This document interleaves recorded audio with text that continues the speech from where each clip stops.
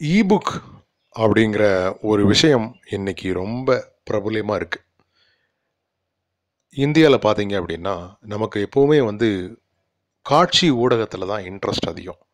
அதனால தான் வந்து டிவி சீரியல்ஸ்லாம் இன்றைக்கி மிகப்பெரிய அளவில் மக்களால் விரும்பப்படுது. யூடியூப்பும் அதே மாதிரி தான். நமக்கு வந்து பார்க்குறது பிடிக்கும். ஆனால் பல வெளிநாடுகளில் இன்றைக்கும் அவங்க ஃபஸ்ட்டு ப்ரிஃபரன்ஸ் கொடுக்கறது படிக்கிறதுக்கு. நீங்கள் நிறைய கேள்விப்பட்டிருக்கலாம். புக் ஃபேர் நடத்துனாங்க அப்படின்னா நிறைய புக்ஸ் வாங்குவாங்க. ஆனால் படிக்க மாட்டாங்க.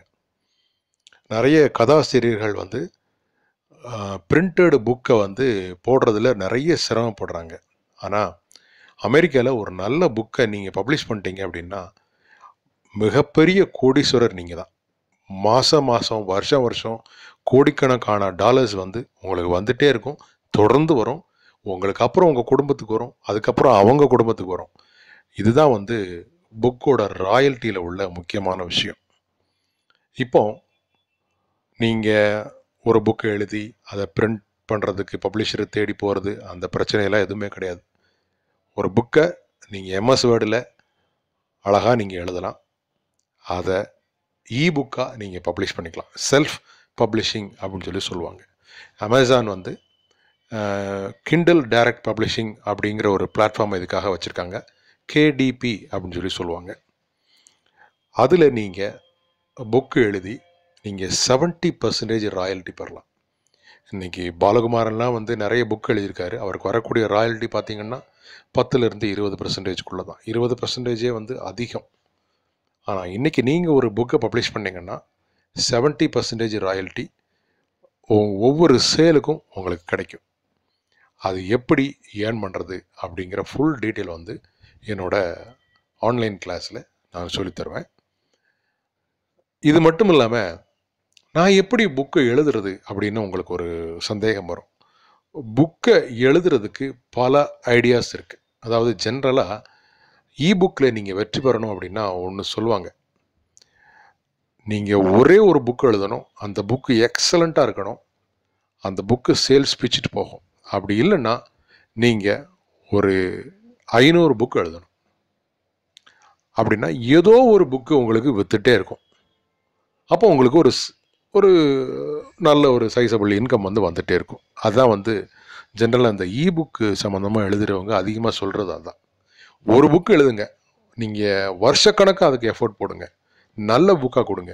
அவ்வளோதான் உங்கள் லைஃப் செட்டில் இல்லாட்டா ஒரு ஐநூறு புக் எழுதுங்க. இல்லை ஒரு ஆயிரம் புக் எழுதுமாங்க ஸோ நான் ஒரு நல்ல புக்கு உங்களுக்கு எழுதுறதுக்கு ஐடியா கொடுக்க முடியாது. ஏன்னா உங்களுக்கு என்ன தனித்திறமை இருக்குன்னு எனக்கு தெரியாது. ஆனால் ஒரு ஐநூறு புக்கை நீங்கள் எழுதுறதுக்கு ஐடியா கொடுக்க முடியும். ஸோ அதைத்தான் நான் செய்ய போகிறேன் அதுக்காண்டி ஐநூறு புக்கு டைட்டிலே உங்களுக்கு கொடுக்க மாட்டேன். சில ஹிண்ட்ஸ் கொடுப்பேன். அதை வச்சு நீங்கள் டெவலப் பண்ணிக்கணும். ஓகே இது அமேசான் அமேசானில் விற்கிறதுக்கான வழிமுறைகள். இதை விட்டுருவோம். அதுக்கடுத்து ரெண்டாவதாக ரெண்டாவது நான் என்ன சொல்லிக் கொடுப்பேன்னா ஃப்ரீயாக இபுக் வந்து ஆன்லைனில் கிடைக்குது. இங்கிலீஷ்லேயே கிடைக்குது. அது காப்பிரைட் ஃப்ரீ இபுக் அதை நீங்கள் ஆத்தர்னு சொல்லி உங்கள் பேர் போட்டு கூட விற்பனை பண்ணுறதுக்கு வாய்ப்பு இருக்குது அதை எப்படி பண்ணுறது அதாவது இப்போ பொன்னியின் செல்வன் அப்படின்றதெல்லாம் வந்து உங்களுக்கு யாருனாலும் பப்ளிஷ் பண்ணிக்கலாம். ஆனால் ஆத்தர் நேம் வந்து நீங்கள் மாற்றி போட முடியாது. ஆனால் நான் சொல்கிறது வந்து ஆத்தர் நேமே நீங்கள் வந்து உங்கள் பேர் போட்டு நீங்கள் பப்ளிஷ் பண்ணக்கூடிய அளவுக்கு சில ஃப்ரீ புக்ஸ் இருக்குது. சில ஃப்ரீ புக்ஸ்னு சொல்ல மாட்டேன். பல ஃப்ரீ புக்ஸ் இருக்குது. பல கேட்டகரிஸில் இருக்குது. அதை நீங்கள் எப்படி விற்பனை பண்ணுறது ஆனால் முக்கியமான விஷயம் அந்த புக்கை நீங்கள் அமேசானில் விற்க முடியாது கேடிபியில் விற்க முடியாது. அதுக்கு வேறு ஒரு பிளாட்ஃபார்ம் இருக்குது அந்த வகையை அதை வந்து நான் உங்களுக்கு எக்ஸ்பிளைன் பண்ணுவேன். அதில் பெருசாக ஒன்றுமே கிடையாது. அந்த புக்கை அப்படியே நீங்கள் போடுறீங்க. கொஞ்சம் உங்கள் நேம் மட்டும் எடிட் பண்ணிக்கிறீங்க. ஆத்தர் நேம் மட்டும் எடிட் பண்ணிட்டு அப்படியே நீங்கள் அப்லோட் பண்ணிடலாம். ஒரு கவர் செட் பண்ணிக்கலாம். ஒரு ப்ரைஸ் ஃபிக்ஸ் பண்ணிக்கலாம்.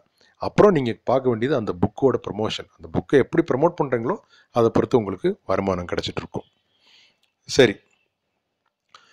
அந் அதுக்கடுத்து அந்த இ புக்கை எப்படி ப்ரமோட் பண்ணுறது ஏன்னா நீங்கள் ஒரு புக் எழுதியிருக்கீங்க. அது உங்களுக்கு மட்டும்தானே தெரியும். உலகத்துக்கு தெரிய வேண்டாமா? அதை எப்படி ப்ரமோட் பண்ணுறது ஃப்ரீ ப்ரமோஷன் என்ன இருக்குது பெய்டு ப்ரமோஷன் என்ன இருக்குது அதை வந்து டீட்டெயிலாக நான் விளக்கி சொல்லுவேன் அதுக்கடுத்து காலேஜ் ஸ்டூடெண்ட்ஸு ப்ரொஃபஸர்ஸ் இவங்கெல்லாம் வந்து சப்ஜெக்ட் ஓரியன்டாக எப்படி ஒரு இபுக் எழுதுறது? ஏன்னா அவங்களுக்கு ஒரு பர்டிகுலர் சப்ஜெக்டில் சவுண்டு நாலேஜ் இருக்கும். ப்ரொஃபஸர்ஸ் பார்த்தீங்கன்னா பல சப்ஜெக்டில் சவுண்ட் நாலேஜ் இருக்கும். ஸ்டூடெண்ட்ஸ் பார்த்தீங்கன்னா மேக்ஸின்னு எடுத்துக்கோங்க. ஒருத்தர் அல்ஜிப்ரா வந்து ரொம்ப பிடிக்கும். அவர் அல்ஜிப்ராவை பற்றி போட்டுகிட்டே இருப்பார். ரொம்ப அந்த கிளாஸ் நீ நல்லா அட்டன் பண்ணுவார். ஆனால் மத் மேக்ஸில் மற்றதெல்லாம் பிடிக்காது. ஒருத்தனுக்கு அல்ஜிப்ரா அப்படின்னாலே அலர்ஜியாக இருக்கும். ஸோ அந்த அல்ஜிப்ராங்கிற ஒரு சப்ஜெக்டை பற்றி அவர் புக் எழுதலாம். வெறும் பதினஞ்சு பக்கம் எழுதினா போதும். ஸோ அதை எப்படி நாம் இதில் கொண்டு வர்றது அப்படிங்கிறதையும் நான் டீட்டெயிலாக விளக்கி சொல்ல போகிறேன் ஸோ அந்த கிளாஸ் பார்த்தீங்க அப்படின்னா ஜூலை ஃபோர்டீன்த் வந்து சென்னையிலையும் ஜூலை டுவெண்ட்டி ஒன் திருச்சியிலையும் நடக்கிறதுக்கு. நீங்கள் ரிசர்வ் பண்ணணும் அப்படின்னா nine zero four three double four one three seven four அப்படிங்கிற நம்பருக்கு கால் பண்ணி அந்த ஃபீஸ் டீட்டெயிலாம் கேட்டுட்டு நீங்கள் ரிசர்வ் பண்ணிக்கலாம். தேங்க்யூ